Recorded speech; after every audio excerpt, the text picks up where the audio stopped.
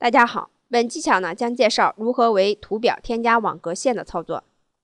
对于一些比较复杂的图表，在背景中添加网格线更有利于数据的查看和比较，使表格呢更视觉化。下面介绍在图表中添加网格线的具体操作。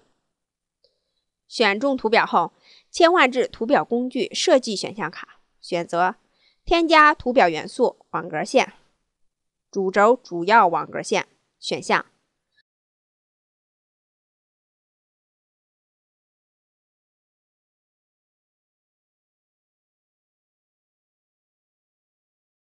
然后单击图标元素按钮，勾选网格线主轴次要水平网格线，复选框。使用相同方法呢，在步骤二中呢，选择更多选项选项，打开设置主要网格线格式导航窗格，设置主要网格线的颜色，选中图表中的次要网格线。同样方法呢，设置网格线颜色后，查看设置后的效果。